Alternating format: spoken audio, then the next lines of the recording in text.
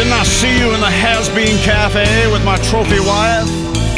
You don't want to know me or about my life. Got no love from here or above, as anyone can see. On a train that only crashes, no one rides for free. Never knew.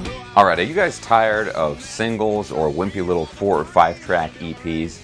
Well, today's review is going to be of Dirt Church by Groupoem, an 18 track album recorded over 25 years. Let's check it out.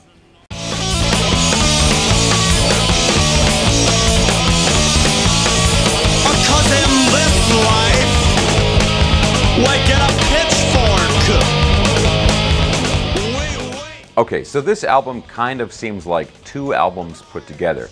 Nine of the tracks were recorded originally in 1987 and never released. That makes up basically the last half of this album. The first half are new tracks recorded over the past couple of years. Now, as to why the band chose to release one huge album as opposed to just two normal sized albums, I can't really say. And personally, I think that might have been a better choice. Regardless, one of the upshots of this album is that it doesn't actually sound like there was a 25 year gap between the recording of the two halves of the album. The mixing engineer did a great job of blending the old and new material. So the overall style here is a blend of rock, psychedelic, punk, and sort of spoken word beat poetry. It sounds to me like there are a lot of Frank Zappa and maybe Grateful Dead influences at work here, and maybe even some Commander Cody and his Lost Planet Airmen.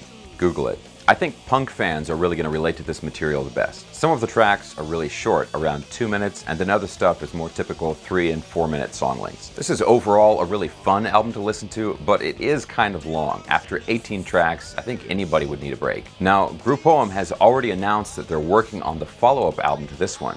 Let's just hope they don't take another 25 year hiatus. So, if you like punk and the more psychedelic styles of rock, and you're looking for a new album that you can really sink your teeth into, check out Dirt Church by Groupoem. Alright, guys, that's it for today. Check out my other reviews on MetalExpressRadio.com. Don't forget to subscribe, and I'll talk to you soon.